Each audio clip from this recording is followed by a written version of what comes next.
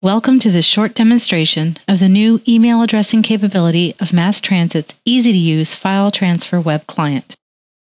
First, log into MassTransit using a standard web browser and your Active Directory or MassTransit credentials.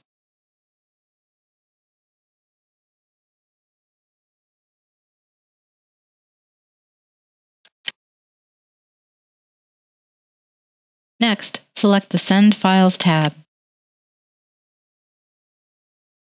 Then, type in the email address of the person to whom you want to send files. This is the recipient.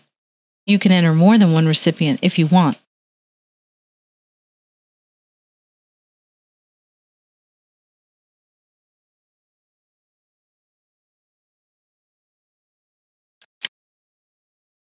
Type a subject for the message that will be sent to the recipient.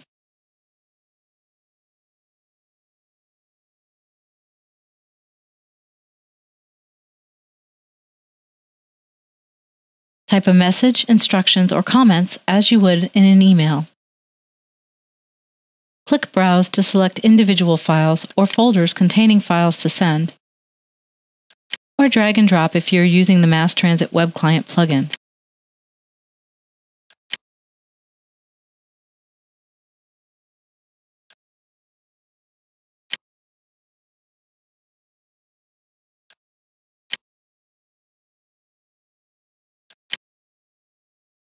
You will see a list of files grow at the bottom of the screen as you select them. When you're ready, click the Send button. MassTransit automatically compresses and encrypts the files. As the files are transferred, MassTransit shows you the progress of the transfer and provides a summary of files sent at the end of the transfer operation.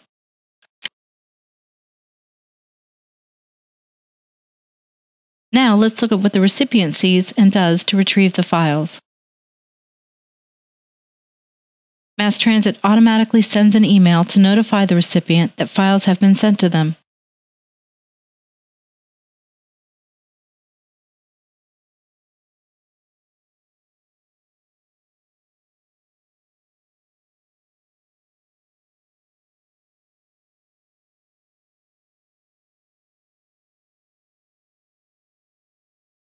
The email contains a list of the files and a clickable hot link, making it simple for them to download their files.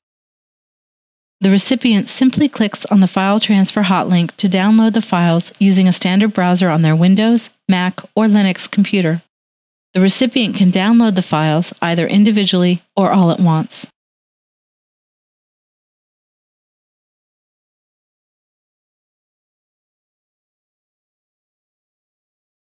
After the recipient receives the files, he can use MassTransit to send files of his own by simply typing in an email address or by selecting the original sender from the drop down list. As you have just seen, it is very easy to transfer files of any size to anyone securely and reliably using MassTransit. To bring the power of MassTransit to your organization, click on the link below and we will make arrangements for you to try MassTransit yourself.